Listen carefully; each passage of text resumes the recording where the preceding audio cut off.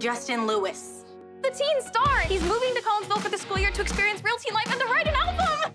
You don't like Justin. I think Justin is interested in a little more than just your songwriting ability. Amy, this isn't like you. I know, but scientifically speaking, what are we basing that on? Holly Hobbie. New season Monday, April 25th at 6 on Family.